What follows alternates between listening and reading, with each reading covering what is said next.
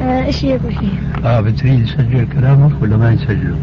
إذا ما بتريد يسجله على راحتكم قل له لا تسجل نسجل آه لا أنا, أنا مرة سألته يا شيخنا أنت مسلم؟ قال لا أنا نصراني لا أنا؟ لا لا, آه. لا. أنا مشان هي ما حبينا إنه يتسجل كلامك أنا أي نعم أنت وأنا ذاكرك وأنا حاب إني أسمع كلمة من الشيخ شو في له خطورة هاي أنا الله يسلمك خلص. خلص خلاص إذا طيب. الشيخ لو حدا قالها.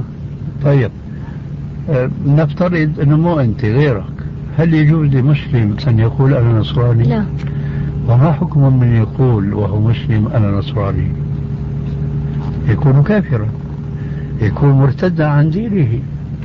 ومثل ما سمعت الشيخ الله يجزيه الخير انه لو في حكم إسلامي المسلم حينما يرتد عن دينه تقطع رقبته. وهذا له حكم تفصيلي طبعا في كتب العلماء. لكن هذه كلمة لا يجوز للمسلم أن يقولها أبدا حتى ولو في ساعة الغضب. أنه أنا نصراني أنا مالي مسلم أعوذ بالله. شرف المسلم في هذه الحياة الدنيا هو كون دينه. يلا السلام عليكم.